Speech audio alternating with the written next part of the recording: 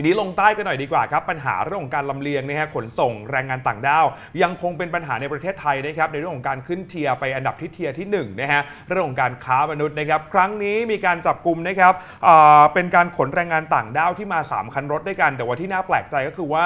มี 1 คันเป็นเยาวชนอยู่เลยครับที่ทำหน้าที่เป็นคนขับรถนะครับอายุประมาณ 17 ปีคุณผู้ชมครับ หรือว่านายไอซ์อะนะฮะซึ่งก็ครั้งนี้นะครับตำรวจทางหลวงสุราษฎร์ธานีนะครับรวมกันจับกลุ่มนะฮะขบวนการขนแรงงานต่างด้าวรอบเดียวใช้ 3 คันครับ เป็นแรงงานชาวบังกลาเทศนะฮะรวม 23 คนที่เตรียมเดินทางไปยังบังกลาเทศครับ แล้วก็รวมไปถึงอินเดีย แล้วก็มาเลเซียที่เป็นปลายทางโดยผ่านในประเทศไทยครับเนี่ยคุณผู้ชมครับ โอ้โห ติดตามจับกลุ่มนี่คือ กล้องจากหน้ารถของตำรวจไหมฮะ เหมือนจะแบบว่าเรียกให้จอด คือเป็นตู้กระบะทึบแบบนี้หลายคนมองเผินๆก็คือ เป็นการขนของส่งไปยัง พื้นที่ต่างจังหวัดอาจจะเป็นนู่นนี่หรือนั่นหรือแล้วอะไรก็แล้วแต่ เนี่ยเจ้าหน้าที่น่าจะอย่างที่ผมบอกคุณผู้ชมครับพฤติการเราคุยกันตลอดเลยในเนื้อหาข่าวนะครับว่า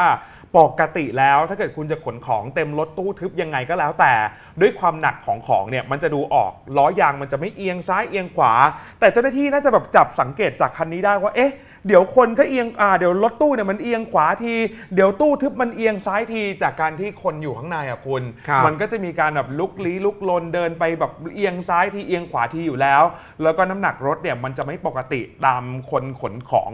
ตามปกติอยู่แล้วคุณผู้ชมครับ ซึ่งแน่นอนนะฮะในการจับกลุ่มครั้งนี้ก็ตำรวจทางหลวงอำเภอชัยยาครับ ก็นำโดยพันตำรวจตรีปานเทพ พจน์ทิวรัมนตรีนะครับซึ่งเป็นสารวัตรของสถานีตำรวจทางหลวง 5 กองกำกับการ 2 กองบังคับการตำรวจทางหลวงนะครับรวมไปถึงเจ้าหน้าที่ที่เกี่ยวข้องก็ร่วมกันจับกลุ่มอย่างที่บอกนะฮะแรงงานต่างด้าวเกือบ 30 คน พร้อมกับตรวจยึดรถกระบะตู้ทึบคันที่เห็นนี่แหละหนึ่งคันนะฮะ มีแรงงานต่างด้าวเนี่ยอัดมาในกระบะตู้ทึบคันนี้นะครับ 11 คนด้วยกัน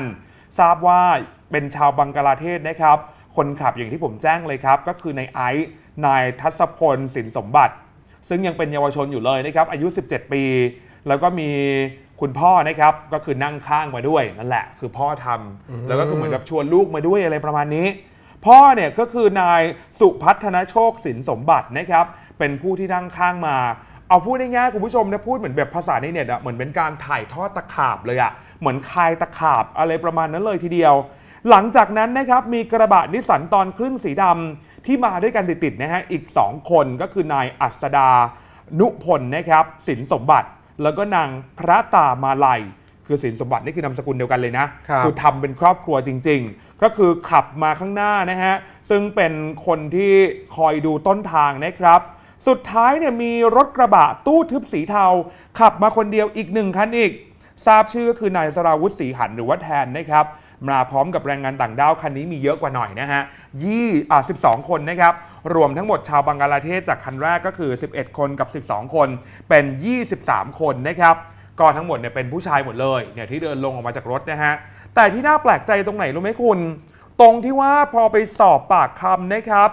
ทั้งหมดเนี่ยที่เป็นชาวบังกลาเทศ ทุกคนเนี่ยมีพาสปอร์ตติดตัวมาด้วยนะครับเออก็เลยแอบงงว่า เอ๊ะ ตอนมาจากต้นทางเนี่ยมาจากที่ไหน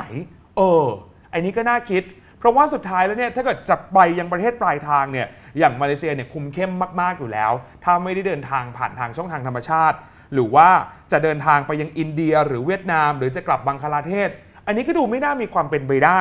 นี่แหละสืบทราบไปเรื่อยๆ คุณผู้ชมครับ ทั้งหมดเนี่ยถูกรับตัวนะฮะมาจากจังหวัดฉะเชิงเซาก็เป็นแรงงานต่างด้าวบังกลาเทศนี่แหละ ต้องการส่งไปที่อำเภอหาดใหญ่จังหวัดสงขลาไปสู่ประเทศที่ 3 นะครับ ซึ่งประเทศที่3เนี่ยที่เขาระบุเอาไว้นะฮะใน 23 คนบอกว่าบางคนเนี่ยจะไปเวียดนาม นี่บางคนก็เตรียมตัวนะฮะเดินทางไปประเทศมาเลเซีย ขออภัยคุณผู้ชมครับ เดินทางมาจากเวียดนามแล้วก็อินเดียเข้ามาในประเทศไทยบางคนเนี่ยก็คือจะไปประเทศมาเลเซีย บางคนก็ต้องการที่จะอยู่ในประเทศไทยเหมือนกัน แต่ทีนี้คุณผู้ชมครับการขนส่งครั้งนี้ก็ 23 คนนะฮะก็มีการคิดเนี่ยค่านายหน้าคนละประมาณ 4 0 0แสนตากา หรือว่าคิดเป็นเงินไทยก็คือคนละประมาณ 1 0 0 0 0แบาทไม่ถูกนะคุณ ครับ แล้วยิ่งมีพาสปอร์ตอยู่แล้วอะผมแอบงงเหมือนกันข้อนี้เดี๋ยวผมจะพยายามไปหาคำตอบแล้วกัน แล้วเดี๋ยวรอบหน้าจะมาเฉลยนะฮะ ว่ามีพาสปอร์ตแล้วทำไมต้องเดินทางผ่านในประเทศไทย เป็นเพราะว่าจะเดินทางไปประเทศมาเลเซียเนี่ย เอ๊ะมันต้อง เป็นขั้การนตอนปั๊มวีซ่าหรือเออมันยุ่งยากหรือเปล่า นั่นนะสิครับกำลังตั้งข้อสังเกตเหมือนกัน อืมทั้งทงๆที่ทุกคนเนี่ยก็คือเดินทางมาจากประเทศต้นทางอย่างบังกลาเทศเวียดนามหรืออินเดีย ก็คือเป็นประเทศที่ไม่ได้หลบเลี่ยงการขนส่งคนอยู่แล้ว ไม่ได้เป็นประเทศต้องห้ามอยู่แล้วถ้าพูดง่ายๆนะฮะในการเข้ามาเลเซีย